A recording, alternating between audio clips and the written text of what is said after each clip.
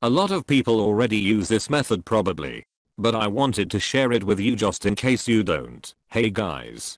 I thought I would try and use a computer generated voice for two reasons in this video. Number 1 my girlfriend is watching a film. Number 2 because some people say I'm not very clear. So, let's get into it.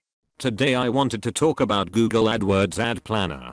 It's actually a surprisingly powerful tool before we talk about this specific method I would just like to say that Google AdWords Planner is actually very good for checking keywords also. So not only does it give good suggestions, it's also a free and accurate way of measuring interest in a topic. So now let's get into the method. Just make an AdWords account. I'm not sure if you need to add a payment method, but I don't think you do. Even if you do you don't have to pay any money to use Google AdWords Planner to find keywords using this method. If you get stuck at any time just try and press the Google Ads button in the top left corner. Just go to Tools and then to Keyword Planner.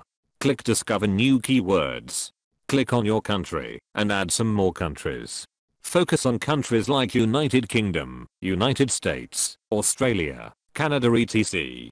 Click on Start with a website. Type in redbubble.com. Make sure you add as many countries as possible. Then click add filter. And press keyword. Click semantic match. Type in something like decal, or if you want to focus on more expensive categories this is also fine. The great thing about this method is that these numbers are accurate and there are a lot of suggestions. A lot of people already use this method probably.